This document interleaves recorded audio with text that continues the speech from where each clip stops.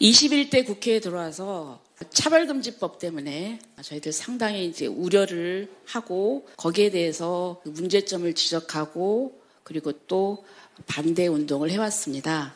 그런데 그것을 비웃는 것처럼 최근에 또 생활 동반자 관계법 그리고 또 가족권 3법이라고 해서 민법 개정안 그리고 또 모자보건법 개정안 또 생활 동반자 관계법을 발의가 되었습니다.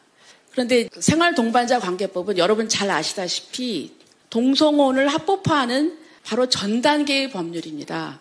외국 같은 경우에는 생활 동반자 관계법이 이제 제정이 되면은 그 뒤에 동성혼이 버젓이 합법화가 되었습니다.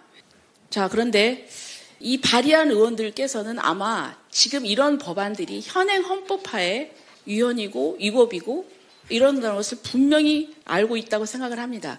그럼에도 불구하고 이런 법안을 제안을 하는 것은 저는 어떤 분위기를 조성하고 사회의 그 어떤 이제 의제화를 위한 것이라고 생각을 합니다.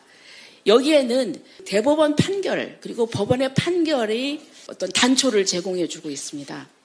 작년에 성별 정정 허가에 관련해서 마지노선이 두 가지가 있었는데 혼인 중이거나 미성년 자녀가 있는 경우에는 성별 정정 허가를 안 해줬습니다. 그런데 작년에 이게 하나가 깨졌습니다. 미성년 자녀가 있을 경우에도 본인의 행복 추구권을 위해서 성별 정정 허가를 해줘야 된다. 그리고 최근에 고등법원 판결이지만 동성혼 커플에 대해서 그 동성 뭐 커플이죠. 건강보험법상의 피부양자 자격을 인정하는 고등법원 판결이 나왔습니다. 지금 대법원에 상고 중인데요.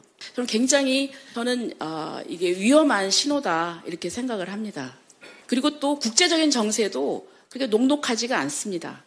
대만은 이미 동성혼이 합법화가 됐는데요. 그 과정을 보니까 대만 국민들이 국민 투표를 했습니다. 그래서 국민 투표에서는 반대론이 우세했어요. 그러자 반대하는 사람들은 안심을 하고 이제 그랬는데 이 차용원 총통이 상당히 이 의제에 대해서 침묵하고 대신 대법원을 항상 그 진보적인 인사를 임명을 했습니다. 그래서 결국은 그냥 통과가 됐습니다.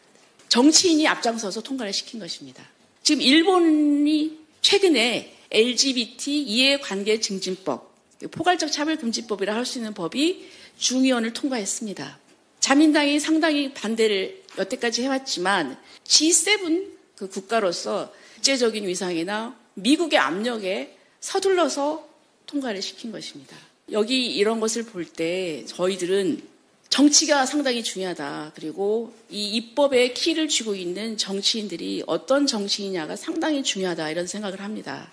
여기 다섯 분의 현역 국회의원님들께서 와 주셨는데, 아, 저는 이 부분이 정말 우리 사회에 미치는 영향이 얼마나 그 해악이 큰가. 그리고 또 법률적으로도 그 문제가 있는 이런 여러 가지 해악이 있는 법이다. 그래서 오늘 이 전문가들을 모시고 저희들이 이 부분에 대해서 토론회를 준비를 했습니다. 그래서 열심히 준비하셨고 또 많이 또 납득이 되는 부분이 있습니다. 저는 오늘 이 토론회 결과가 우리 국회에 잘 전달이 되어서 이것의 문제점을 정확하게 이해하고 이 법이 통과되지 않도록 그리고 또 이런 법이 의제로서 이렇게 자꾸 발휘되지 않도록 하는 그런 계기가 되었으면 합니다. 오늘 여러분 이렇게 많이 와주셔서 감사드리고 앞으로도 계속 관심과 또 어, 기도를 부탁드리겠습니다. 감사합니다.